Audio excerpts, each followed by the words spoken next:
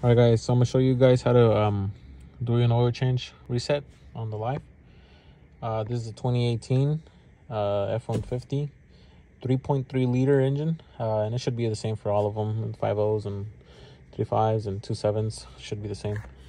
Um so what you want to do is you want to put your key on on the on position.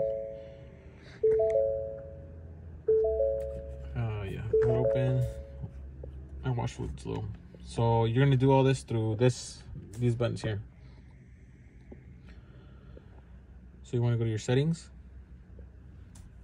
press OK, and then your advance. You're gonna go to vehicle. You have my key, display setup. You're gonna go to vehicle, and then you have your wiper controls, locks, lighting. So you're gonna go to your oh, oil life reset. You're just gonna hold the OK and keep holding it. And that's it. Thanks for watching. Subscribe, like, share.